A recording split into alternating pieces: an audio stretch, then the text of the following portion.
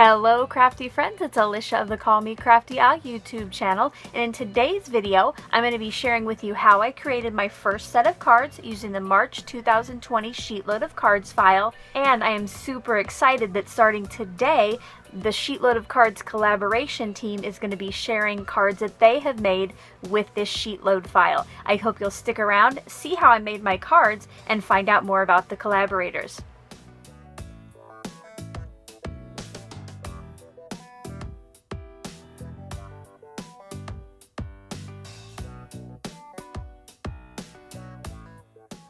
Thank you so much for stopping by today. If this is your first time to my channel, I hope that by the end of this video, you'll be inspired to click on that subscribe button below and maybe even tap on that bell for notifications. If you're already a subscriber and regular viewer, welcome back. I'm so glad that you're here again. On my channel yesterday, I debuted the newest sheetload of cards, which is the March 2020 edition, and I let you know how you can download this file for free if you would like to create cards like this of your own.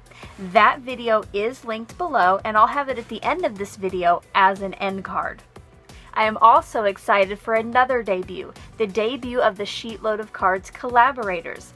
I let you know last month who I chose to be on my very first collaboration team for Sheetload of Cards, and today each of them is either going to have a video on their YouTube channel, a blog post on their blog, or they'll be sharing pictures on their Instagram showing you how they use the latest sheetload of cards. Once you're done watching my video, I hope that you'll go visit all of the collaborators and see what they have created. Make sure to give them a thumbs up, a like, a comment, leave them some love and let them know that you saw what they created. Let's go ahead and get to the good part of the video where I'm going to show you how I created these cards.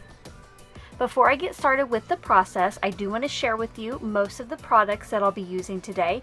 If I add anything later, I will be sure to let you know. But as always, once I start the process, I do go to a voiceover. So if I leave you with any questions, you can always leave those in the comment section below and I'll get back to you just as soon as I can.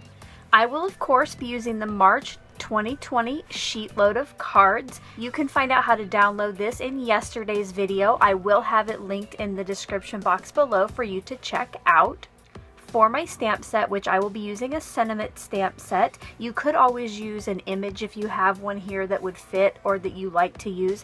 But for today, I'm going to be using the Reverse Confetti The Most Beauty. And because my stamp set is very well loved and it's kind of hard to read, I'm going to pop up a picture on the screen here so you can see all of the sentiments. I just love the variety and I love the sayings in this.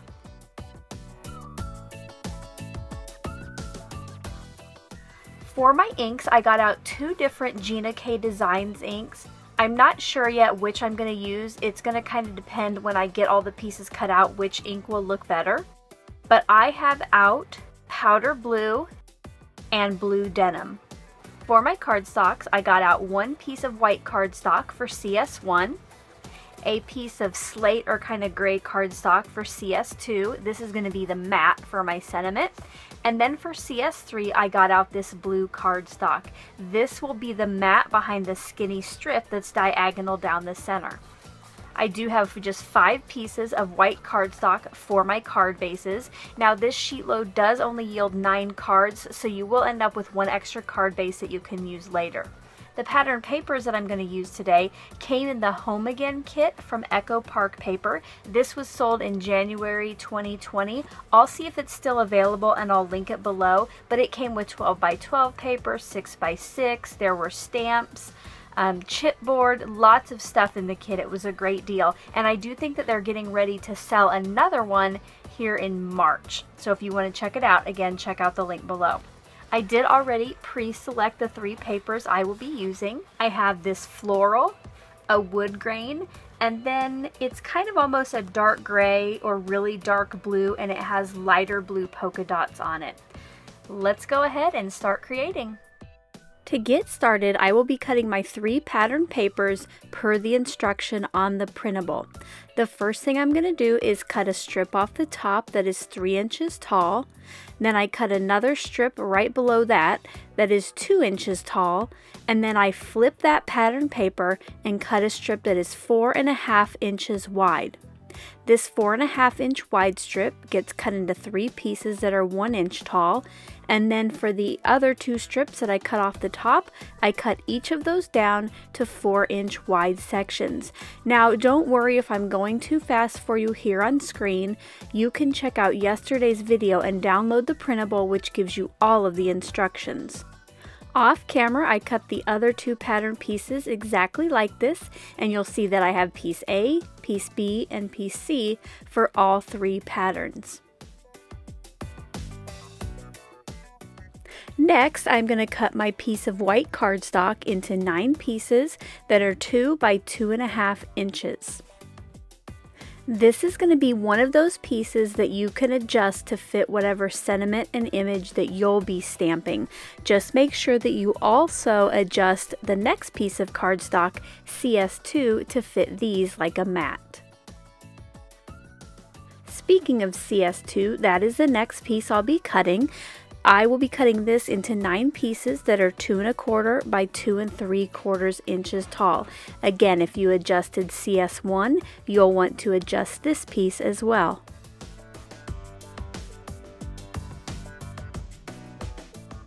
And next I will be cutting the blue pattern paper or CS3 into nine pieces that are four and a half inches wide by one and a quarter inches tall. I cut two strips from the cardstock that were four and a half inches wide and then I cut those down to one and a quarter inches tall until I ended up with nine pieces. Off camera, I cut and folded my white cardstock into nine card bases. Once all of the cutting was done, it was time to start putting my cards together. Now to match up the pattern papers, I take piece A and then piece B from the next pattern and piece C from the third. You can also switch this up, piece A from the first, piece C from the second, and piece B from the third pattern. Do this however you want to, just make sure that each piece is a different pattern.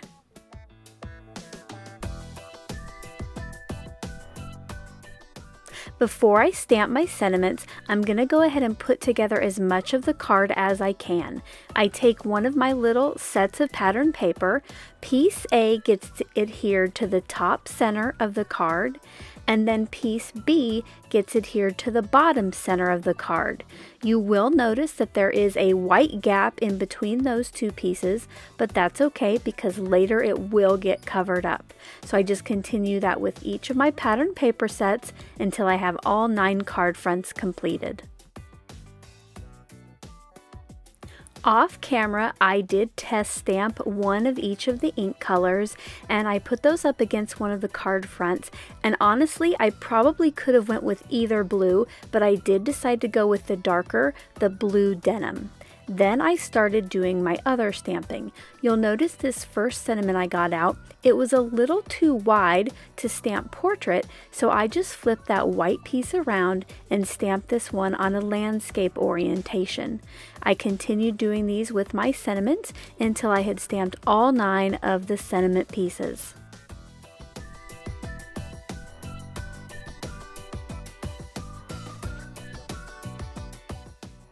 Once all of the sentiments were stamped, I matted each one of those onto the gray cardstock or the CS2 piece. The next step in my process was to mat each of the pattern paper strips with the blue cardstock or the CS3 piece. Now you'll notice that the pattern paper fills that cardstock strip left to right, but there is a small border on the top and bottom. The final thing that I'm going to do for my cards today is get those pattern paper strips adhered across the center of the card. But first I do need to place each of the sentiment blocks onto the card fronts. This is one of those places where you can adjust these pieces whatever looks best with your sizing and your orientation. Because there is some overhang on the left and the right of the card front, I got out my non-stick scissors and just trimmed that excess off lickety-split. These scissors are great for this. The adhesive does not gum them up. I then just continue this same process until I have completed all nine of my card fronts.